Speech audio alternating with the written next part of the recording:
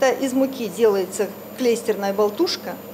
Он нагревается, он горячий, там кипит вода, образуется клейстерная болтушка, и то, насколько она плотного состояния или слабенькая, погружается в нее шток, и по секундам, как быстро погружается шток в эту клейстерную болтушку, мы определяем состояние амилолитического комплекса.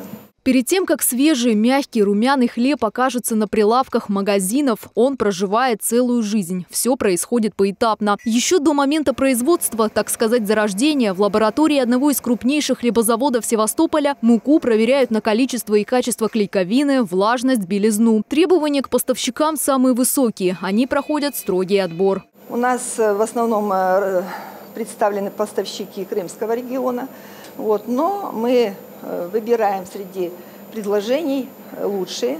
Для этого у нас э, на конкурсной основе производится отбор.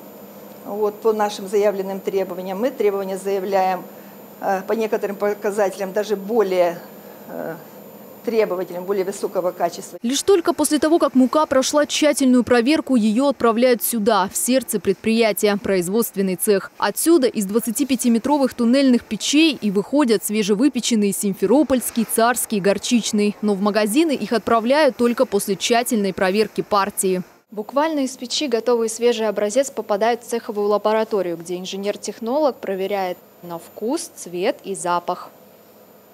А уже после этого готовый образец попадает в центральную лабораторию, где с помощью специальных приборов и реактивов проверяется на кислотность, щелочность, содержание жира и сахара. За качество можно не волноваться, но повлияет ли это на цену? Ведь сырье на хлебобулочную продукцию снова подорожало. Как заявляет руководство предприятия, в ближайшее время стоимость продукции точно останется прежней. Царь хлеб сдерживает цены за счет господдержки. Более 9 миллионов рублей получило предприятие в этом году на компенсацию убытков. Эта работа будет продолжаться и в следующем году. Но э, скажу вам так, что да, сырье дорожает, но зачастую царь хлеб берет на себя э, дополнительные расходы для того, чтобы сдержать цену на приемлемом уровне.